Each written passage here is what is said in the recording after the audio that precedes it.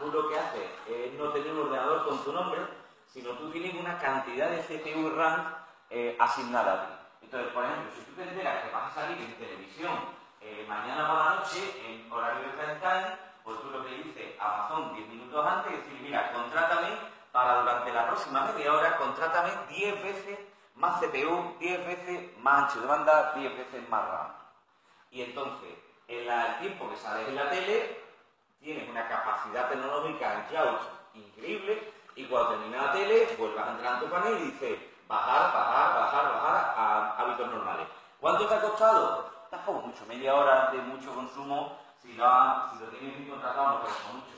Y por lo menos cuando te entran los de la tele, pues no tienes la caída y el, el momento de bochorno de que la gente intenta entrar y eh, se cae. Eh, por cierto, ¿alguien sabe lo que es el efecto Meneame? Y por cierto, no estoy hablando de una página porno.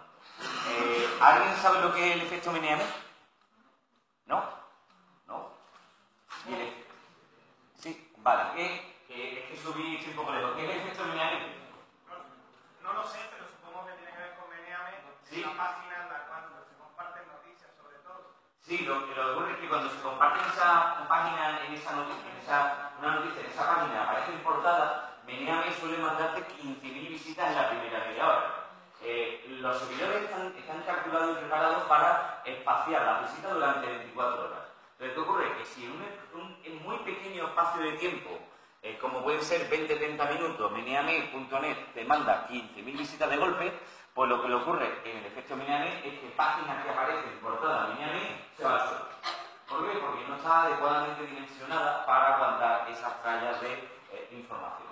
Entonces, eh, ¿cómo debemos de elegir un dominio? Pues podemos elegirlo eh, o de marca, eh, google.es, o marca emiliomarquez.com en mi caso, o para el SEO, pujadores.com, turismo.es, jamones.es, y hay que tener en cuenta que ese nombre de dominio habitualmente, hay que tener en cuenta que habitualmente tiene que ser ese nombre de dominio fácil de recordar, escribir. Jamás me uséis guiones.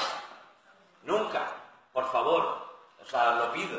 Nunca, nunca, nunca, nunca me uséis guiones en un dominio. ¿Por qué? Porque, no, Emilio, es que turismomálaga.es y .com está pillado. Está pillado. Ha habido unos cuantas gente lista antes que tú que llegaron a internet hace 20 años antes que tú. Pero es que turismo-málaga está libre pues ¿qué? No lo hagas. Sea, no metas la pata, no metas la pata. Esto es como cuando le decimos a un amigo, no te bebas la última copa, mm, pues esto es lo mismo. O sea, no metas la pata, os lo digo de consejo. No pilléis nombre de dominio con guion, porque es tirar vuestro dinero, vuestro esfuerzo totalmente a la basura. El usuario no tiene guiones, ni los va a recordar, ni necesita meter un guion en su vida. No le hagáis eso al usuario, ni os lo hagáis a vosotros mismos. Es por vuestra seguridad. Así que eh, hay que tener en cuenta que los nombres de dominio hay que registrárselo a una entidad llamada ICANN, ICANN, eh, que es la entidad bastante independiente, eh, es supranacional de gestión de nombre de dominio. Esa ICANN lo que tiene una serie de empresas registradoras cualificadas y homologadas para que tú puedas comprar el nombre de dominio.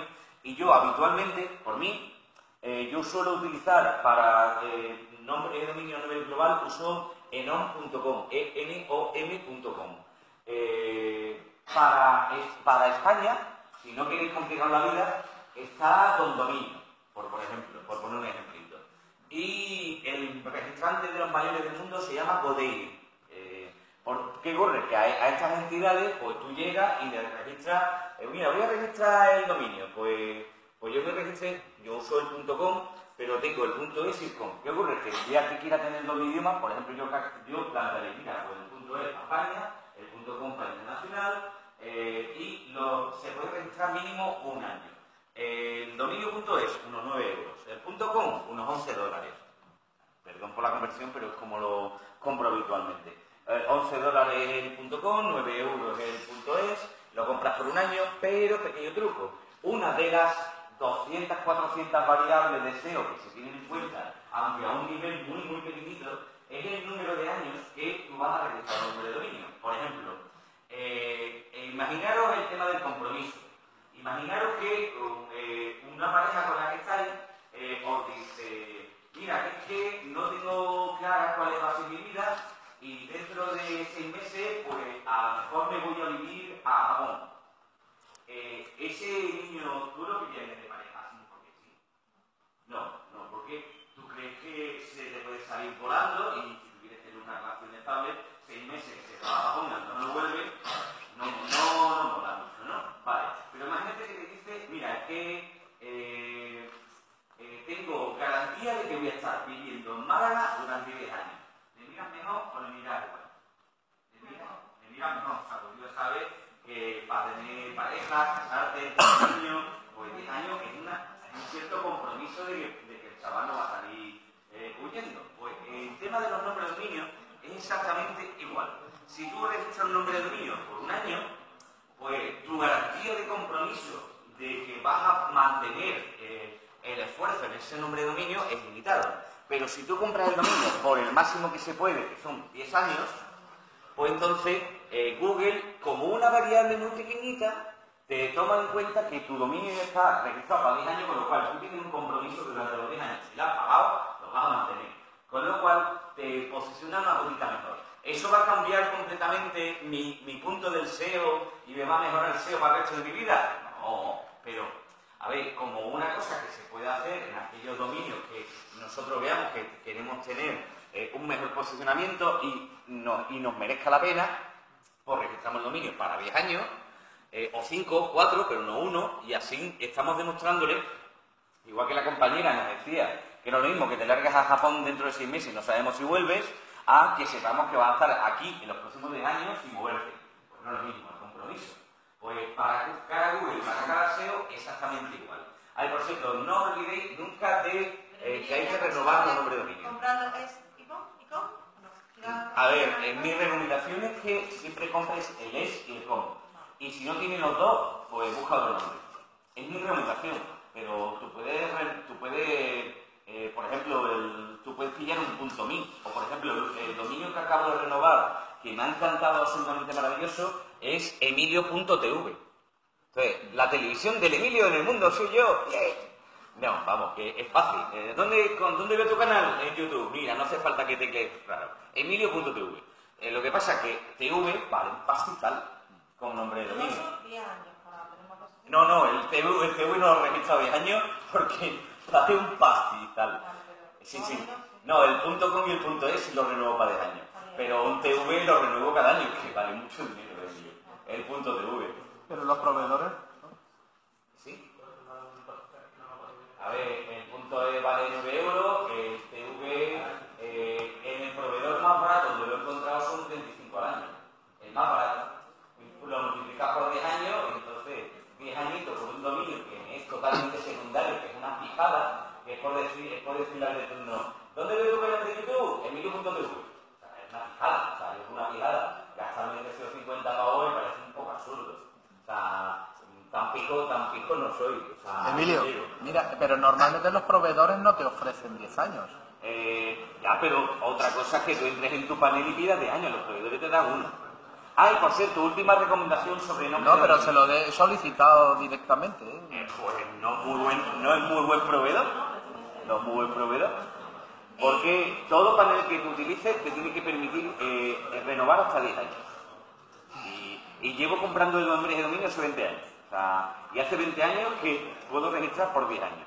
No te permiten más de 10, pero eh, si te permite registrar solo por uno, eh, no quiero entrar en discusiones, pero tu proveedor no es muy bueno. ¿eh? Sí, sí. Lo volveré a consultar. Vamos, que si quiere que me escriban y le explico cómo, Sí, le hago una captura de pantalla de cómo los proveedores profesionales se pueden registrar en dominio hasta 10 años vista.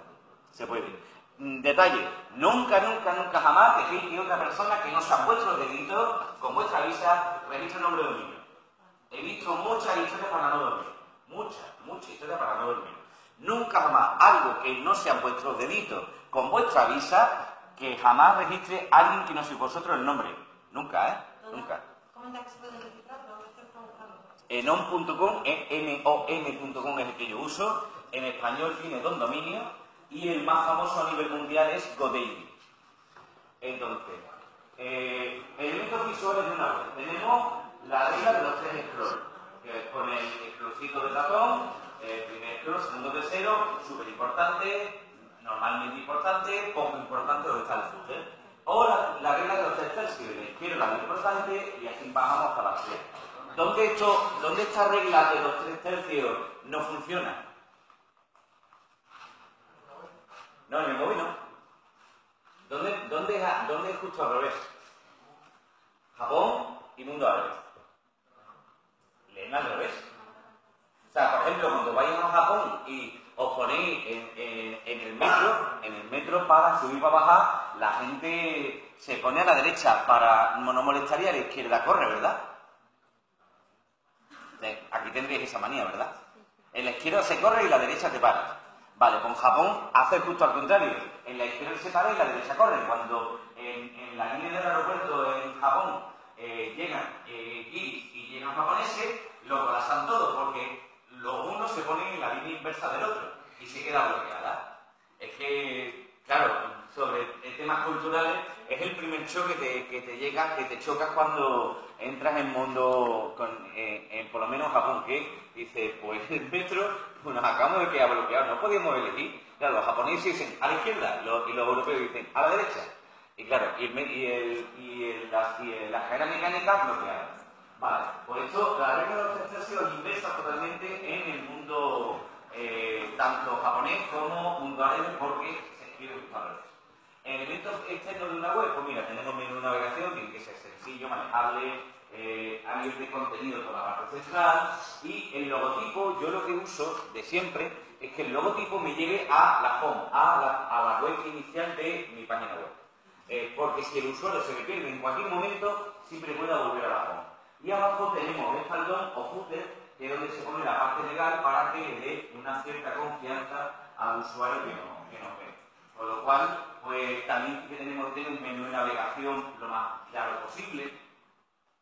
Y aquí nos en- encontramos ya a nivel de código HTML, que no tenemos que preocuparnos por él, pero que sí tenéis que conocerlo, donde eh, en la parte del cabecera y meta tag, lo que le decimos a los buscadores es en qué tipo de codificación estamos, eh, qué tipo de, qué tipo de eh, eh, palabras clave más principales vamos a utilizar para SEO. hacemos una identificación de cada buscador y navegadores de qué se va a encontrar a partir de entrar en mi página web. Y para eso se utiliza la, cabeza, la cabecera y los metadatos. Luego está el body, que el body es lo que realmente vemos en la página web, la parte central, pero claro, la cabecera y metadatos para buscadores, el body, ya el cuerpo central, es lo que van a inter- interpretar los navegadores en pantalla. Luego tenemos CSS, que es una maravilla cuando se inventó, porque diseñar en, CSS, estilo CSS, lo que hace es diferenciar completamente la capa de diseño de la capa de contenido. Con lo cual, tú en un momento determinado le puedes cambiar el contenido a, a la página web sin tener que tocar el diseño, o le puedes cambiar completamente la plantilla de diseño de principio a fin, total y absolutamente, y el contenido en sí muta. Y tú cambias la plantilla de diseño en 30 segundos y no tienes que tocar ni un contenido. Y eso es gracias precisamente al CSS, que abstrae el contenido del diseño. Y cuando llegó este tipo de forma de programación de, de página web, eh, se simplificó profundamente el crear página web. Pero el rey absoluto de, de- al que nos va a permitir a nosotros poder gestionar página web, los Content Managers System. Los CMS son la herramienta total y absolutamente poderosa, versátil, sencilla, de aprendizaje inmediato, que nos va a poder permitir tener una serie de capacidades de, de creación de contenido, de diseño versátil, interesante, atractivo, de programación avanzada, que nos- es la que nos va a permitir precisamente desde no tener absolutamente ni idea de Internet hasta que tengamos nuestra página, primera página web o primer blog diciendo hola mundo, tardemos aproximadamente unos 15 segundos de reloj. Desde conocimiento cero a tener publicada la primera página, 15-30 segundos. Entonces, los principales SMS, pues tenemos eh, WordPress, Joomla, para WordPress tenemos PrestaShop, Magento, Spotify, OpenCaros, Commerce. En realidad, eh, CMS tenemos decenas y decenas y decenas. Pero quien gana completa y absolutamente la batalla a nivel, a nivel global, donde ahora mismo el 34% de las páginas web del mundo están en WordPress, eh, la misma, porque tiene una comunidad de desarrolladores de, de themes, de diseños increíble, porque tiene una comunidad de creadores de plugins o add-ons o eh, mejoras de programación para WordPress, que es una maravilla, con lo cual, al final, la forma más sencilla y más versátil de crear, ay que me muero, de crear una página web hoy día es utilizando el WordPress, eh, el SMS WordPress.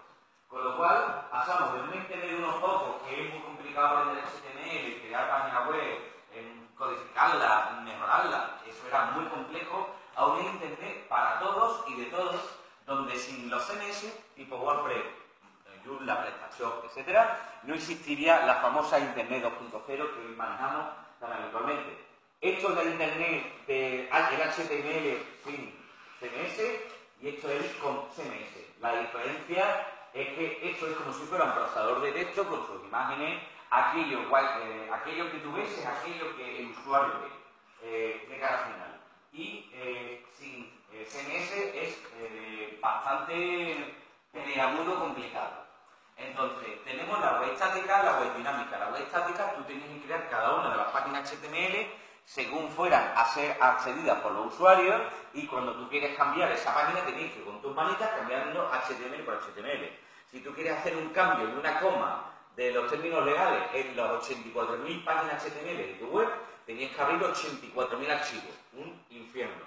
¿Cómo se hace en una web dinámica? Pues tú le dices a tu CMS que tiene una base de datos detrás, le dice, mira, en los términos legales, ¿cómo cambia esta coma? Porque, la, eh, porque por lo que fuera nos equivocamos en la tipografía y la dirección es con una coma. Y en dinámico lo que hace es que cada página se genera en tiempo real, en base precisamente a una plantilla de diseño, por eso usa CSS, y en base a una base de datos donde están todos los contenidos. Con lo cual, cuando el usuario entra en un buscador de una página web y dice dime todo lo que sea relacionado con periodismo, ese contenido y esa, eh, ese contenido de esa página web se está generando en forma dinámica y en tiempo real solo para ese usuario, porque el CMS busca en toda la base de datos todos los artículos relacionados con periodismo y te los muestra en pantalla ordenaditos. Y esa página se ha generado en tiempo real, solo para ti, en base a los contenidos que ya había en una base de datos. Entonces, sí, eh, los CMS eh, la eh, web sería estática, complicada, en cambio con los CMS la web dinámica se genera en tiempo para lo que necesita cada usuario en ese momento.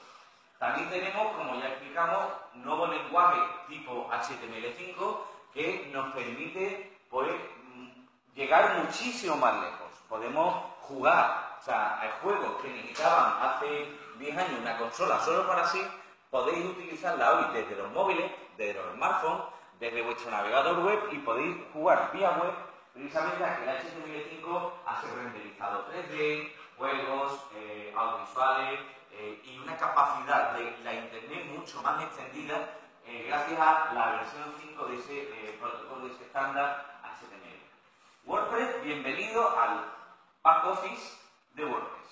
esto es lo que vosotros veis cuando entráis en el panel de administración de un WordPress totalmente intuitivo, sencillo, con sus menús total, absolutamente claros y fáciles.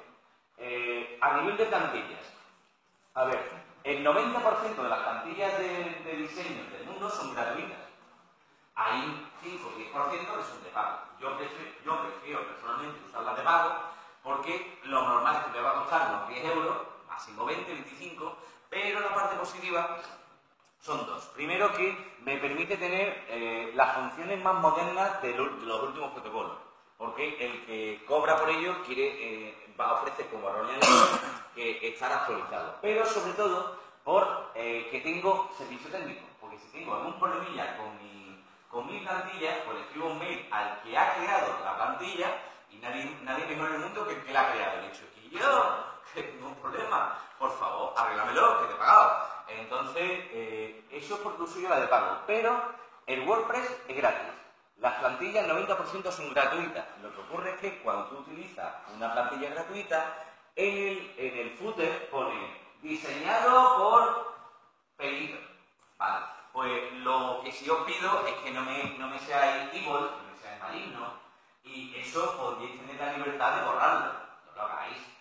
Niños malos, sois niños malos porque hay un diseñador que se ha currado, que ha aportado a la comunidad una plantilla que, que la ha diseñado y que lo único que pide es tener un poquitín de reconocimiento para que luego venga alguien, vaya a su web y le exige compren una plantilla de pago. Tú la estás teniendo gratis, él te dice que la usar gratis, pero no me ahí luego un momento maligno y cojo y borro, al, borro la firma del diseñador de la plantilla gratuita. No, eso es maligno.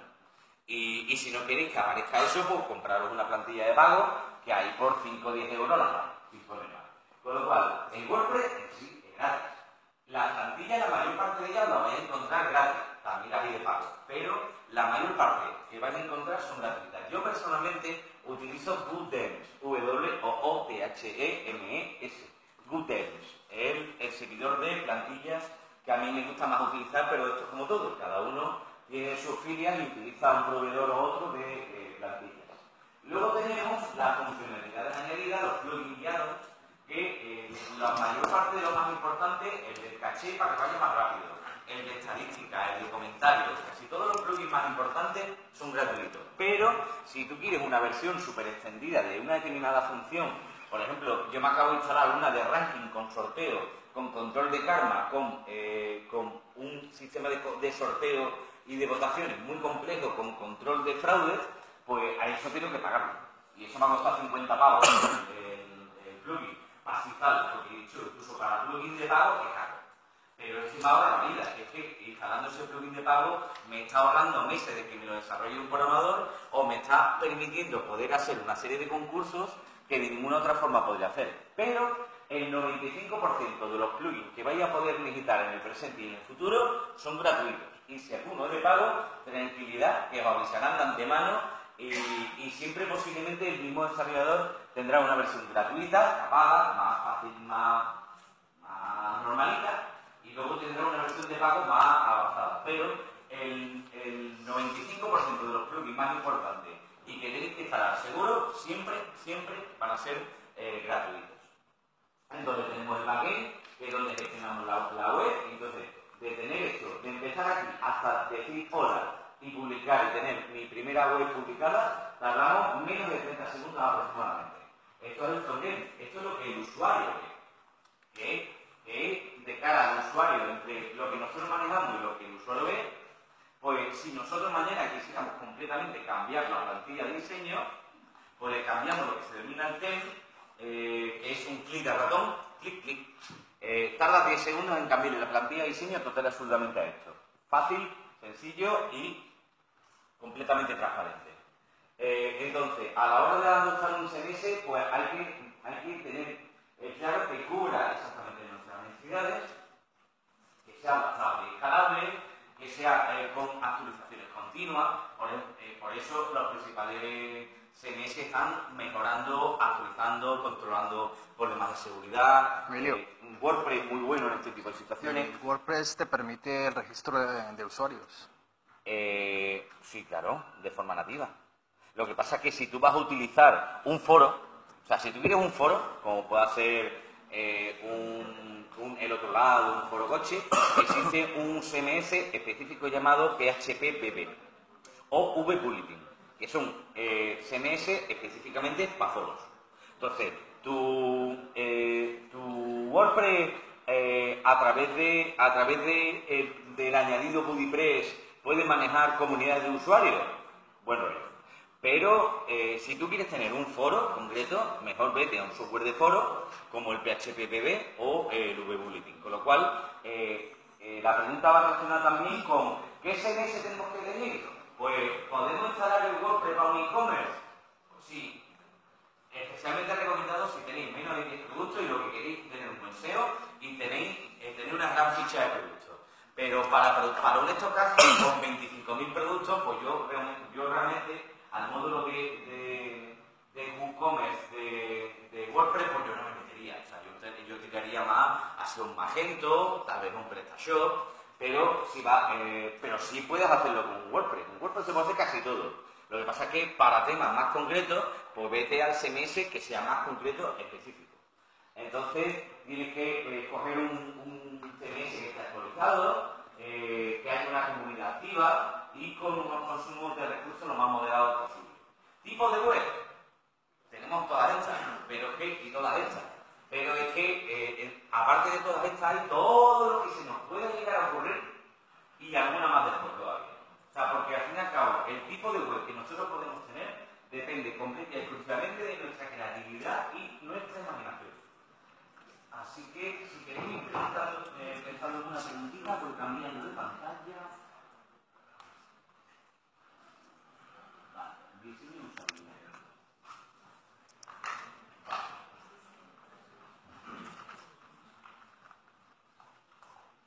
Vale. Porque ah, ha sido la hora.